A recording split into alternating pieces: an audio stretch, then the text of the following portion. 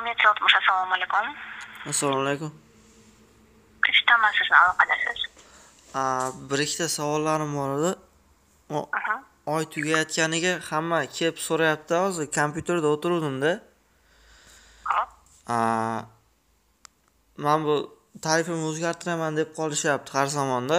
U hozir ellik minglik tarif bor ekan ellik minglik xullas o'n ming so'mlik o'tmoqchiman megabayt sotib olganman kuyib ketmaydimi deb so'rashyapti nima deb javob bersam bo'ladi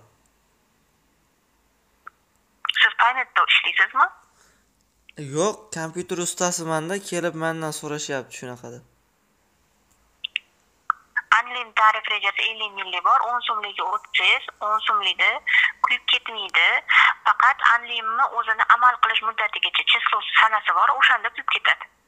Ha bugun janjal qilib ketdim xullas tushunmay qoldim.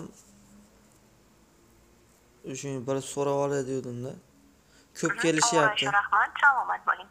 Ilhomjon aka,